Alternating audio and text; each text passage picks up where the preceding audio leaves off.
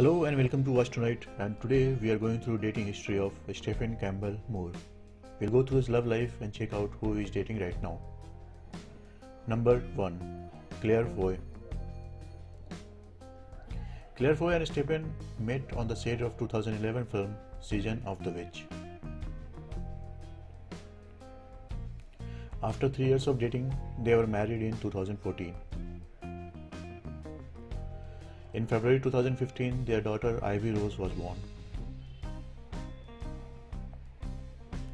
Stephen underwent surgery to remove brain tumor in 2012 and 17.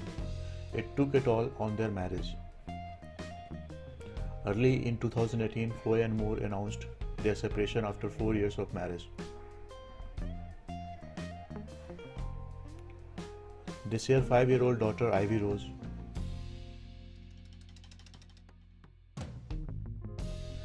Number 2 Sophie Cookson Stephen Campbell Moore and Sophie Cookson met in 2017 when they starred in drama film Red Joan together.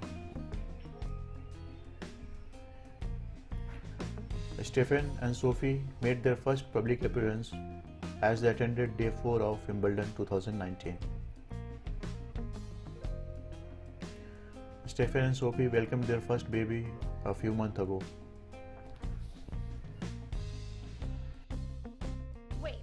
Before you continue watching this video, because I know you will, three things.